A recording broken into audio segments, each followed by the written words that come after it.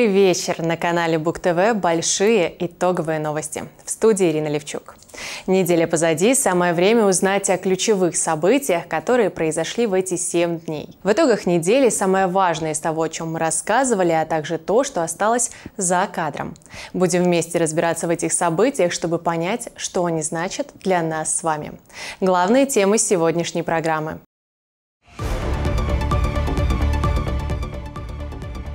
Прямая телефонная линия как маркер городских проблем. Председатель Брестского горосполкома Сергей Лободинский провел субботний интерактив с жителями города. Путь в тысячи ли начинается с первого шага. Город над Бугом посетила делегация провинции Хэбэй. На встрече в многофункциональном центре говорили с представителями Брестского облсполкома. Обсуждали торгово-экономическое сотрудничество, вопросы в сфере транспортной логистики, образования и медицины. Крупнейший в Беларуси таможенный грузовой пункт пропуска Козловичи отмечает круглую дату – 40 лет со дня открытия. Анастасия Мелюшкевич о 40-летних изменениях, о дне сегодняшнем и о перспективах развития пункта пропуска. Студенчество, успех, единство. В Бресте прошли республиканские студенческие дни. «Я Белоруссию дорожу», «Я здесь учусь», «Я здесь живу» или молодежный воркшоп, инициированного ко Дню народного единства. Об этом и не только в программе «Итоги недели» на канале Бук ТВ. Сегодня прошла прямая телефонная линия с председателем городского исполнительного комитета Сергеем Лободинским. За три часа общения онлайн с жителями областного центра Брестский градоначальник смог развернуто ответить на 21 вопрос. Темы без изменений на злобу дня. Оно и понятно. Ведь мелкие вопросы решаются оперативно и быстро, а вот те, что с заковыкой, сразу отправляются к руководителю города. Решить сложные ситуации, выслушать каждого и помочь не только словом, но и делом. Такие задачи ставит себе мэр города перед началом субботнего интерактива. Какие проблемы были взяты под контроль лично, вопросы какого характера озадачили председателя, а также о том, что сейчас волнует людей. Обо всем этом прямо сейчас. Традиционный субботний интерактив, когда представители вертикали власти выходят на связь с брещанами онлайн, пользуются спросом. Сегодня за три часа прямой телефонной линии председатель Брестского горосполкома Сергей Лободинский смог развернуто ответить на 21 вопрос. Все они разные, от благоустройства территории до вопросов личного характера. В социальных сетях появилась информация, что планируется строительство дома именно для педагогов. Да. Я работаю воспитателем дошкольного образования в седьмом детском саду с момента его открытия, вот уже 6 лет своего собственного жилья у меня нет. И вот меня интересует вопрос, когда по плану будет построен дом именно для педагогов и на каких условиях можно будет получить в нем арендную квартиру. Значит, э, действительно, мы в этом году в преддверии э, схода с преподавателями наставниками анонсировали, что планируем на следующий год начать строительство многоквартирного жилого дома возле Политехнического университета, технического, да, нынешний технический университет, э, на площадке, значит, которую они передают нам в городскую коммунальную собственность. Планируется уже, так скажем, отработан план посадки, это будет, скорее всего, 120-квартирный дом. А, значит, для кого планируется? Это, конечно, в первую очередь для работников двух университетов. И, конечно, мы же не забываем про свои школы, дошкольные учреждения. Э, принцип будет такой, что, э, во-первых, люди должны быть нуждающиеся, да, и у тех, у кого отсутствует жилье на территории города Бреста. Поэтому сейчас мною было дано, дано поручение, чтобы отработали с контингентом лиц в отношении, так скажем, кто претендует и не имеет такого жилья в городе, для того, чтобы составить некий, так скажем, алгоритм или подход, который был бы понятен для всех. Поэтому я думаю, что у вас все есть шансы, если у вас нет жилья, попасть в этот дом. Градоначальник поделился, что очень хотел бы, чтобы следующими, кто может рассчитывать на городское жилье, стали специалисты жилищно-коммунальных служб. И, вероятнее всего, у этой темы будет счастливое продолжение. А вот надеяться на хэппи-энд Алексею Васильевичу в его истории не приходится. У мужчины 42-летний сын, инвалид-колясочник. Они живут на первом этаже, но силы, чтобы поднимать и опускать сына, уже не те. А канитель со строительством пандуса тянется целую вечность. Первый этаж и мне уже восьмой десяток, очень тяжело поднимать, и крыши пошли. Э, э, выход один, построить балкончик. Почему-то в нашей квартире три комнаты, единственный, наверное, в доме нету балкона. Написали заявление в райисполком, дали добро. Написали, составили проект архитектурный, подписал главный архитектор района Полковский, города Сутягин и областной Николай Белосюк. Делайте проект, делал проект. Потом начинаются эти всякие вот такие вещи. В цвете сделал, потом э, это сделал, потом сделал топографию, сделал, потом изыскание сделал. И теперь такая вообще странный вопрос. А вокруг каждого дома, оказывается, есть периметр дома и маленький периметр для обслуживания ЖРЭУ. У нас ЖРЭУ жест номер один.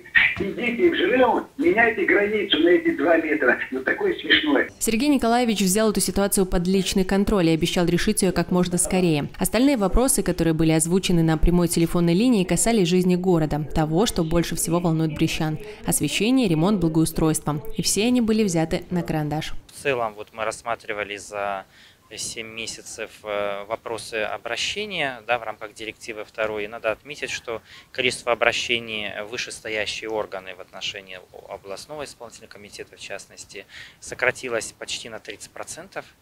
А, по городу надо сказать, что количество обращений возросло объективно, и причину этого мы всего видим, тот объем работ, который мы делаем по городу нельзя не заметить и не отметить это. И, наверное, вот сегодняшняя э, прямая телефонная линия, э, больше люди звонили э, с предложениями и предупредить ситуацию на будущее в отношении, в первую очередь, кровельных работ по домам, где сегодня, так скажем, понимая, какая стихия была, несколько недель назад э, люди просто ну, переживают, чтобы, не дай бог, чего-то не случилось. Есть вопросы э, по благоустройству, которые, так скажем, носят системный характер. Это, в частности, люди обращались по улице Скрипникова, по улице Богданчука, где взяты эти вопросы на контроль, и в ближайшие, так скажем, месяцы мы приступим и по следующему году, я думаю, масштабно будем выполнять эти работы по благоустройству, асфальтированию. Все это говорит о том, что брещане прекрасно понимают, местная власть способна и готова решать локальные вопросы. Кроме того, горожане не остаются равнодушными и подталкивают представителей городского управления расти и развиваться дальше, в том числе и за счет просьб благоустройства всех городских районов.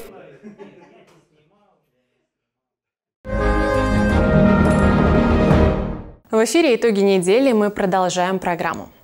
Ни для кого не секрет, что несмотря на большое географическое расстояние, разные часовые пояса у двух стран, Синеокой и Поднебесной, есть много точек соприкосновения. От похожих традиций, уходящих корнями в далекое прошлое, до единого взгляда на будущее мироустройства. Еще два года назад Беларусь и Китай установили наивысший в истории уровень отношений, всепогодного и всестороннего стратегического партнерства, а потому частые плодотворные визиты делегации Китайской Народной Республики и Беларуси стали стали наглядным примером высокого уровня отношений между двумя странами.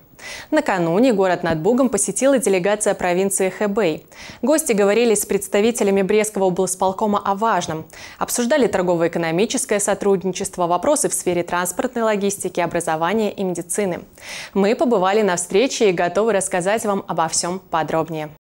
Дипломатические отношения между Беларусью и Китаем развиваются активно и динамично. Делегации из Поднебесной в Брестском регионе гости постоянные. Так, накануне в Брест с рабочим визитом прибыла делегация провинции Хэбэй Китайской Народной Республики. Цель поездки – укрепление отношений двух народов, а также создание площадки для обоюдовыгодного сотрудничества в различных сферах и отраслях жизнедеятельности от экономики до культуры. Данная цель обоснована и понятна, ведь Брестская область привлекательна для инвесторов, и доказательством этому служит интересы стороны стороны представительств бизнеса стран СНГ, Европы и Азии. У нас э, подписано соглашение с э, предприятием из провинции Хэбэй, с которым мы сегодня встречаемся.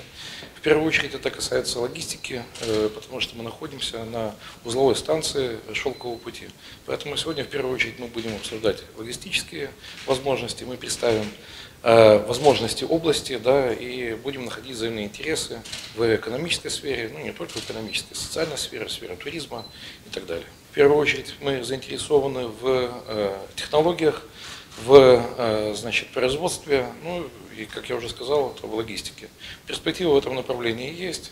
Э, мы недавно были в провинции Леонин, сегодня у нас в гостях провинция Хэбэй.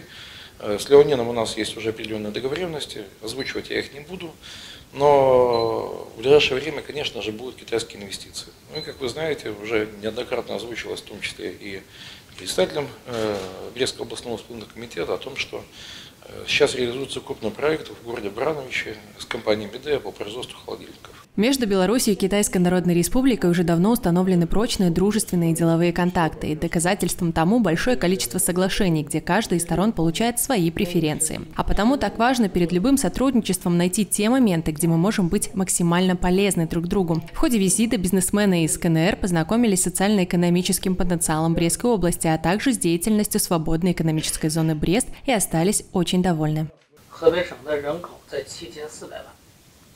А, также в провинции Хэбэй э, насчитывается около 75 миллионов человек.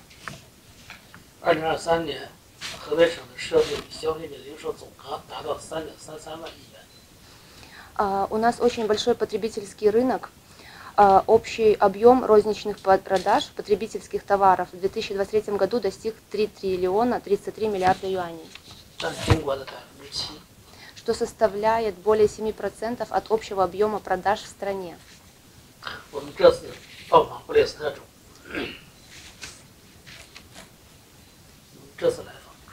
А, и мы вот сейчас приехали а, в Брестскую область. 主要是针对布列斯特的区位优势和河北的区位优势有相同的地方。 А, для того, чтобы найти наши общие точки соприкосновения для сотрудничества, использовать э, преимущества, преимущества нашей провинции Хэбэй и э, Брестской области.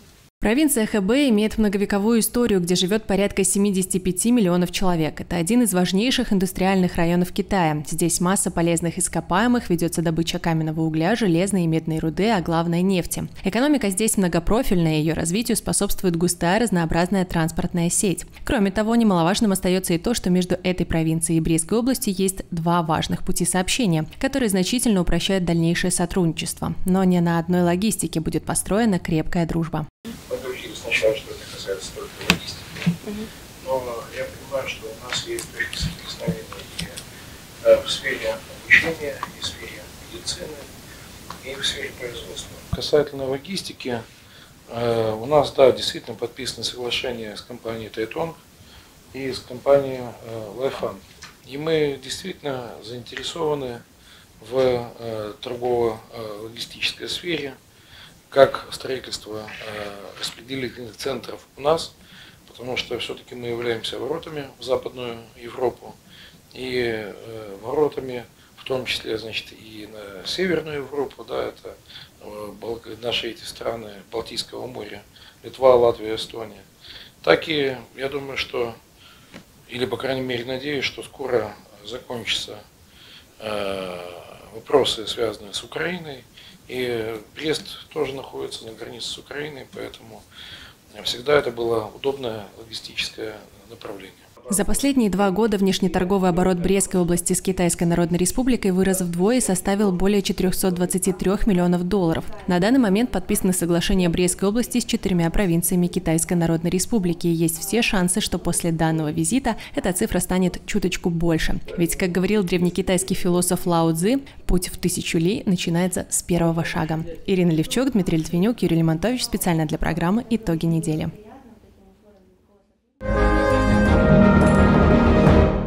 Программе «Итоги недели» только главные новости, важные и интересные. Крупнейший в Беларуси таможенный грузовой пункт пропуска Козловичи отмечает круглую дату – 40 лет со дня открытия. История его создания началась с Олимпиады, которая прошла в СССР в 1980 году. Для беспрепятственного следования гостей в Советский Союз правительство приняло решение о переориентации грузовых потоков, создании отдельных терминалов для движения грузового автотранспорта. Сегодня это один из главных транспортных пограничных коридоров нашей страны. Он очень выгодно расположен в рамках трансграничного перемещения. Через пункт пропуска проходит основное движение грузовых транспортных средств. Сегодня терминал способен пропускать свыше 2000 грузовиков в сутки. Наша съемочная группа посетила пункт пропуска Козловичи и узнала, как он изменился с момента своего образования, а также о перспективах развития пункта пропуска, ведь он продолжает модернизироваться, чтобы отвечать требованиям времени. Анастасия Мелешкевич продолжит тему. Пункт пропуска Козловича на белорусско-польской границе отметил 40-летие с момента открытия. На данный момент это единственный путь для грузового транспорта в западном направлении и одна из основных точек внешней границы Евразес. По-своему уникальный пункт таможенного оформления не имеет аналогов на территории нашей страны. Сегодня общая площадь Козловича составляет свыше 33 гектаров. Площадь всех зданий и сооружений более 21 тысячи квадратных метров. При ритмичной работе польской стороны здесь здесь могут пропускать более двух тысяч транспортных средств в сутки. В среднем же в настоящее время за сутки оформляют до полутора тысяч машин в обоих направлениях. Это э, самый крупный грузовой терминал э, как в нашей стране, так и один из крупнейших по советском пространстве. Во-вторых, он очень выгодно расположен в рамках трансграничного перемещения. Э, расположена э, транспортной сети, входящей в состав второй трансевропейской транспортной сети, которая соединяет напрямую э, Париж, Берлин, Варшаву, Минск, Москва. И сегодня через пункт пропуска проходит основное движение грузовых транспортных средств. Если говорить немного о цифрах, среднесуточная способность это около полторы тысячи э, грузовиков. Э, и с каждым годом, начиная от э, после ковидного периода, количество грузовых транспортных средств увеличивается. И если говорить за 8 месяцев, по сравнению с прошлым годом, количество грузовиков увеличилось порядка 6%. Понятно, что это не проектная способность. Проектная способность пункта пропуска 2000 транспортных средств, но все мы прекрасно с вами знаем и понимаем в рамках э, санкционного э, давления количество грузовых транспортных средств Э, уменьшилась. С момента своего образования Козловичи претерпели значительные преобразования. Были проведены три реконструкции. В результате здесь, среди прочего, функционирует стационарный инспекционно-досмотровый комплекс. Имеются рампы и боксы углубленного досмотра и оборудование для контроля радиационной безопасности, четыре весогабаритных комплекса и автоматизированная система за распределением транспортных средств по секторам. Буквально в 2023 году мы завершили очередную реконструкцию пункта пропуска. А что такое реконструкция? Это, во-первых, э, комфортные условия для всех служб, работающих в пункте пропуска. Это, э, во-вторых, это безопасность и комфорт для граждан, пересекающих э, границу, что, безусловно, сказывается на транзитной и туристической привлекательности нашей страны. Постоянно растущий поток требовал от нас принятия каких-то мер по увеличению пропускной способности. И в течение этого периода было проведено три реконструкции. Первая реконструкция была завершена в 2003 году, в результате которого, помимо этого здания, здесь было изначально по 4 канала в, каждое, в каждом направлении. После первой реконструкции здесь стало по 8 каналов в каждом направлении. Плюс ко всему добавилась площадка, где водитель смог оставить транспортное средство и идти в здание для оформления. А вторая реконструкция была завершена в 2009 году. Это была самая масштабная реконструкция, в результате которого было введено в эксплуатацию новое здание государственных контрольных органов. Вот это вот здание. А, в принципе, оно сейчас неразрывно связано с Козловичем, и можно сказать, что оно является символом этого пункта пропуска. Вот. Э, и э, Плюс ко всему, после, после второй реконструкции была э, возле этого здания новая рампа, создана с большим количеством мест, с увеличенным количеством икон для оформления. Мы могли разместить большее количество сотрудников и э, должностных лиц государственных контрольных органов. И в результате второй реконструкции э, пропускная способность была увеличена до 2400 транспортных средств в сутки в обоих направлениях. Гостями пункта пропуска Козловича стали ветераны службы. За годы многое поменялось. Старое здание перестало нести основные функции, а процедура оформления и контроля теперь полностью высокотехнологичные. Хотелось бы пожелать нашим сотрудникам, что учитывая, что на сегодняшний момент у них комфортные условия, создано все для таможни, для работы. Хотелось бы мне пожелать им э, профессионализма в принятии решения, качественной работы. Сейчас вся работа, вот мы посмотрели, вся работа идет э, полностью автоматизированная. Значит, у нас было все-таки больше бумажной работы, очень. Функции сейчас сотрудники таможни выполняют совсем другие, как транспортная инспекция, как пограничный контроль, осуществляет паспортный контроль. Так что у нас такого раньше не было. Сейчас все это на высшем уровне. Великолепные условия для водителей создаются. Хотя вы видите, что очереди не прекращается. Здесь это самое, сопредельная сторона э, работает очень слабо. В наше время, в то время, когда мы здесь были, тоже сопредельная сторона иногда нам ставила палки в колеса. Тоже собирались очередь. Но такого, как сейчас, не было. Сейчас вы видите, что транспортные средства все иностранные. Наши белорусские транспортные средства за границу не пропускают. Э, приезжает, но торговля идет, идет. Значит, э, приезжает, грузы привозят, все иностранные транспортные средства. Таможня работает отлично. То, что мы увидели, нет никаких нареканий, совершенно.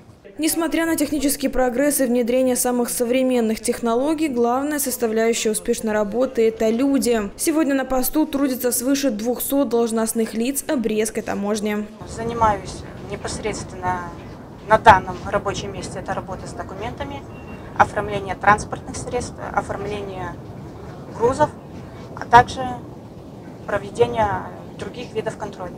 Главное – это внимание. Внимание а настроение только позитивное. Потому что без позитивного настроения работа с людьми невозможна. Я начинала с, с таможенного поста Козловича, поэтому 12 лет работы я провела здесь. Поэтому, конечно же, вспоминается тот день, когда я пришла на работу первый раз. Вспоминаются те люди, с которыми начинала работать. Анастасия Мелешкевич, Эдуард Бакунович, Юрий Лимонтович. Специально для программы «Итоги недели».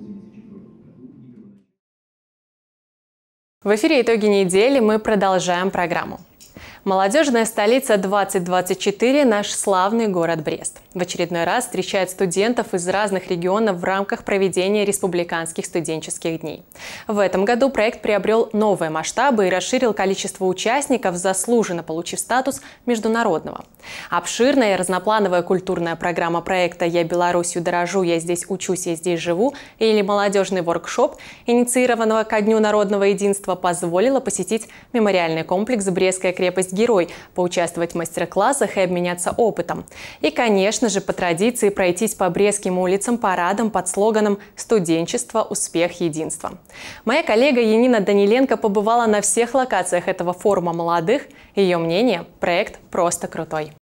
Брестский государственный университет имени Александра Сергеевича Пушкина широко распахнул свои двери для студентов из всех уголков Беларуси и России. При поддержке Министерства образования Республики Беларусь стало возможным существование проекта «Я Беларусью дорожу», «Я здесь учусь», «Я здесь живу» или молодежный воркшоп в рамках республиканских дней студенчества. Посвященный Дню народного единства форум сплотил ребят из разных учебных заведений и стран. Открытие состоялось в особо значимом для дружественных государств государств вместе в мемориальном комплексе Брестская крепость «Герой». Участники почтили память защитников, оборонявших крепость и возложили цветы к вечному огню. 2024 год в Республике Беларусь город Брест получил почетное звание являться молодежной столицей нашей страны. И на протяжении уже вот этих всех, э, всего периода 2024 года уже тысячи молодых людей с разных уголков Республики Беларусь, Российской Федерации, других государств, дружественных Республики Беларусь посещают наш город, э, где находится э, мужественная э, крепость-герой. Мое пожелание вам, чтобы вы сохранили вот то, что имеет наше государство. Ведь не просто так глава государства сказал, когда мы проводили, в этом году было Всебелорусское народное собрание, он сказал такие слова, время выбрало вас, вас, молодежь. И поэтому ваших, сейчас ваша задача сохранить то, что на протяжении вот 30-летия конституционного периода нашего молодого государства писать вам историю нашего будущего и сохранять то, что мы имеем. Мы уже в третий раз принимаем у себя студенческие дни студенческие, республиканские студенческие дни в Бресте.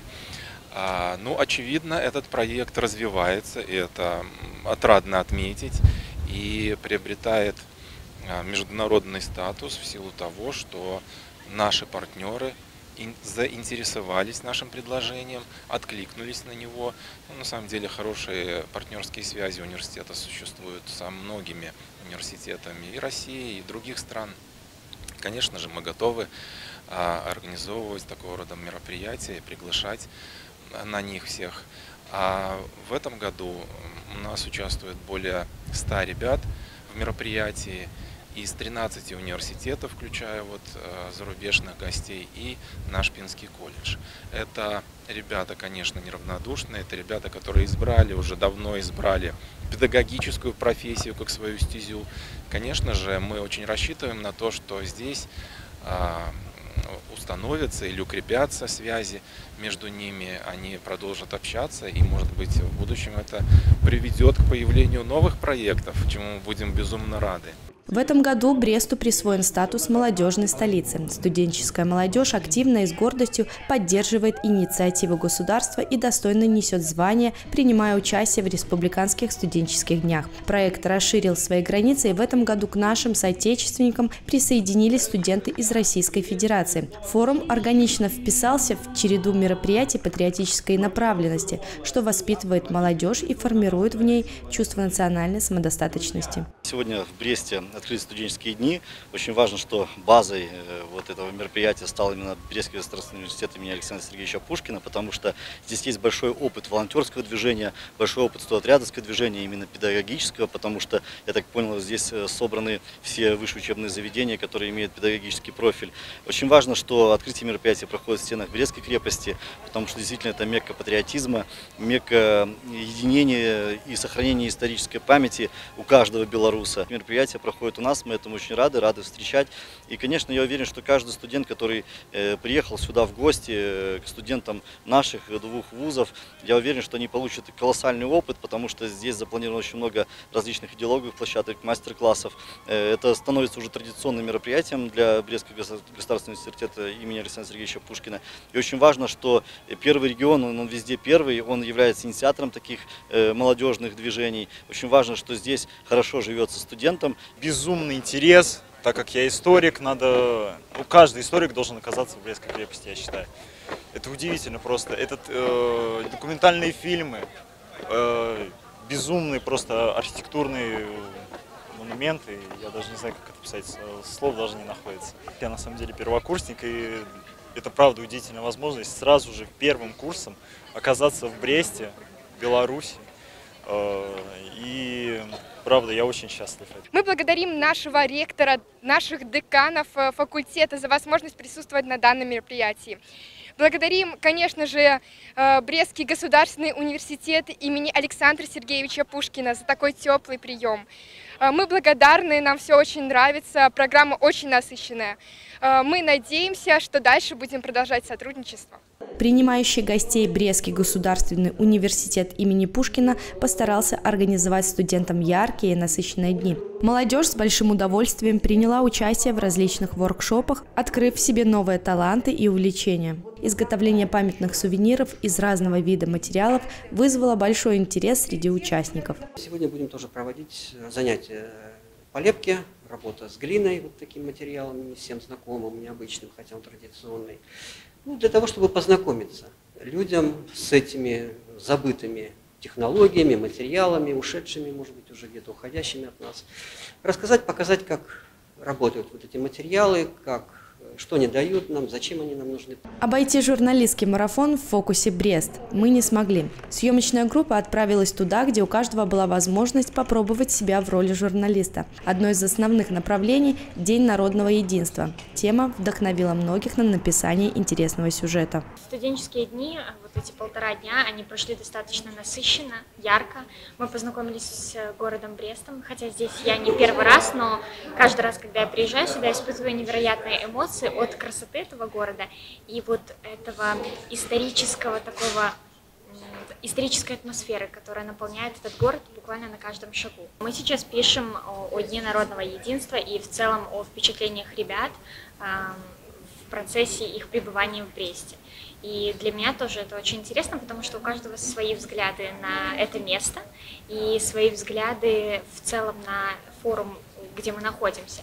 Для кого-то это способ познакомиться с новыми людьми, для кого-то это способ улучшить свои навыки и умения в профессиональной сфере, а для кого-то просто отдохнуть и насладиться моментом. Мы работаем над журналистским марафоном, а, активно берем интервью, знакомимся с ребятами, а, параллельно развиваем навыки коммуникации, а, пишем статью, прикрепляем фото, в общем, развиваемся. Наша статья посвящена, собственно, отзывам и интервью ребят, которые так же, как и мы, приехали на этот марафон на тему Дня народного единства, опять же, патриотизма.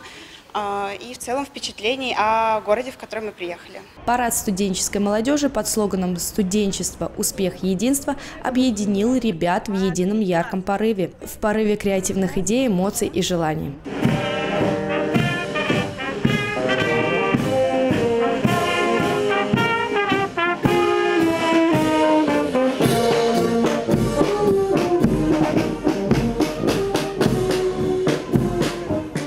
А праздничный концерт стал ярким акцентом и подарил студентам хорошие воспоминания и эмоции на год вперед. Руководство университета имени Пушкина наградили высшее учебное заведение и их представителей, выразив слова благодарности организаторам и тем, кто оказал поддержку. Нам очень понравилось в Бресте. Здесь очень уютно, чисто, красиво. А, в первый день нас отвезли а, на мемориальный комплекс в Бресте. Вот, показали там очень красивый фильм.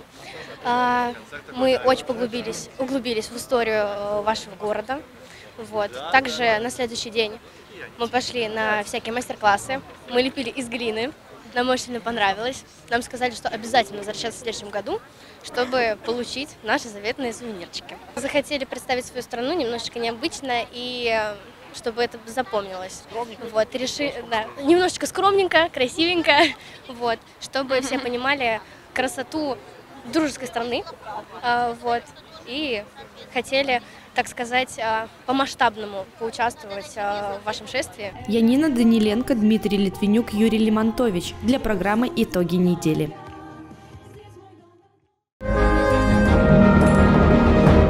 Сегодня столетний юбилей отмечает общественная организация «Белорусское товарищество инвалидов по зрению». Осень 1924 года стала отправной точкой в работе по созданию учебно-производственных предприятий и городских отделов общества слепых в БССР. Инициативу по защите прав и интересов граждан с нарушениями зрения в настоящее время продолжает Белтис, в состав которого входит 7 областных организаций, 13 унитарных предприятий, 9 из которых производственные, на них работает огромное количество людей с проблемами по зрению.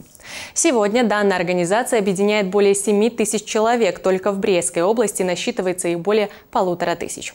Анастасия Мелешкевич о том, чем сегодня живет товарищество и какие цели на будущее ставит перед собой в юбилейный день.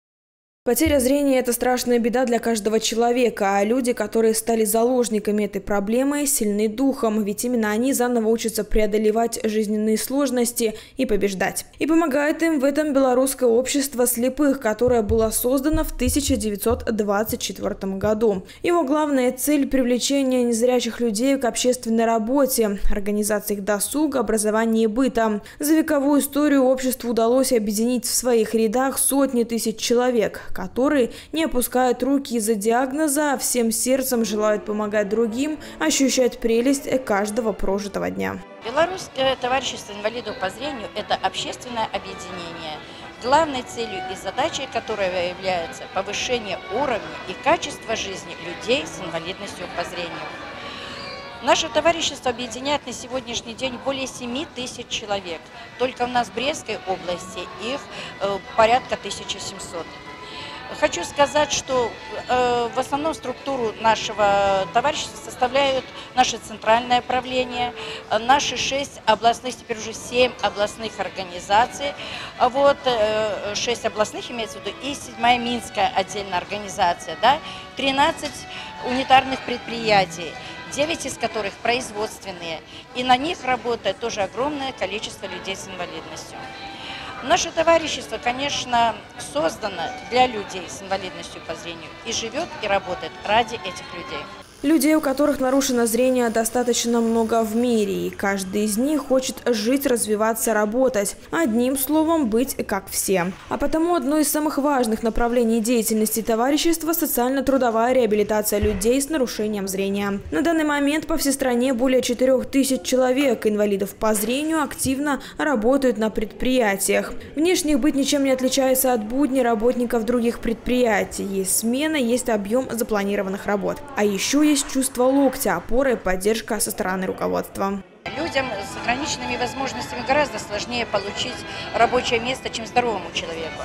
Но тем не менее надо быть справедливы к тому, что в нашей стране делается много для того, чтобы люди с инвалидностью были все-таки трудоустроены. Ну, во-первых, я сказала, что у нас в системе уже работает э, э, масса наших специализированных предприятий, на которых работают наши люди. Кроме того, конечно, люди с инвалидностью по зрению работают в разных сферах.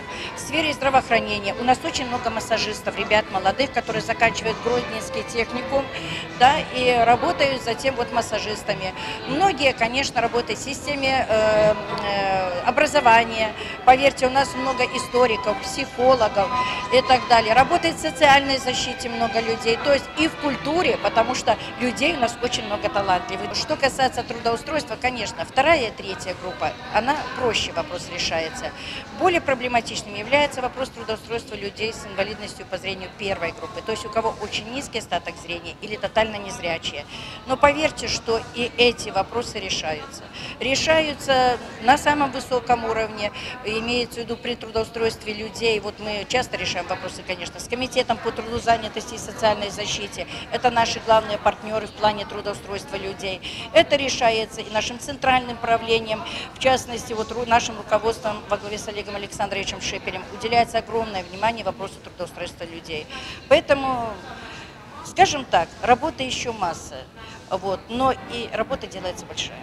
Сегодня в стране на достойном уровне создана безбарьерная среда для людей с ограниченными возможностями. В Бресте также ведется планомерная работа по обеспечению условий безбарьерной среды. Занижение бордюров на пешеходных переходах и создание переходов с применением ярко-желтых тактильных наземных указателей, а также появившийся в Бресте эффективный помощник для людей с ограниченными возможностями – гусеничный подъемник «Барс». Те темпы, которые последние 2-3 года, то есть они впечатляют. То есть вы видите, что на сегодняшний день никого не удивляет ни э, тактильная плитка, ни информаторы.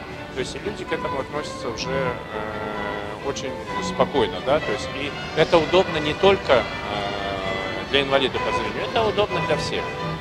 Вот. И я уверен, что в ближайшее время, то есть будет еще больше объектов, еще больше э, учреждений, которые могут посещать все, в том числе инвалиды по зрению. Социальная ориентированность нашего государства позволяет ежегодно реализовывать множество проектов, один из которых в скором времени найдет свое воплощение в усовершенствовании доступной среды. Министерство э, труда и соцзащиты сейчас э, создало очень хороший проект, э, где каждый объект в каждом городе, в каждом населенном пункте будет э, светофорным, то есть э, три э, э, цвета. Красный – это вообще нет безбарьерной среды, желтый – это частичная э, безбарьерная среда, зеленый – это полная доступность для всех инвалидов.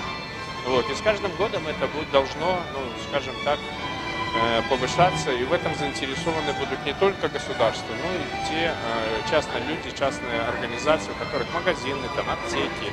Ну, вот. Законодательство это уже на сегодняшний день требует. Праздничная дата – это время подводить итоги, говорить друг другу слова благодарности и признательности. В этот раз со сцены слово «спасибо» звучало для них. Людей, которые посвятили себя работе с особенными людьми, создавая им комфортные условия. Дипломы, грамоты и благодарности получили самые достойные. Мне, конечно, очень приятно. И общество помогает, и областное правление нам всегда помогает. Вот, ценит наш труд. Несмотря на то, что объединение Белтис день праздничный, не раз разговор на мероприятии уходил в рабочее русло. Планов и идей у представителей товариществ немало, а главное, есть желание воплощать их в жизнь. Это были итоги недели, у которых, как всегда, свои герои и свои события, какими их увидели корреспонденты Бук ТВ.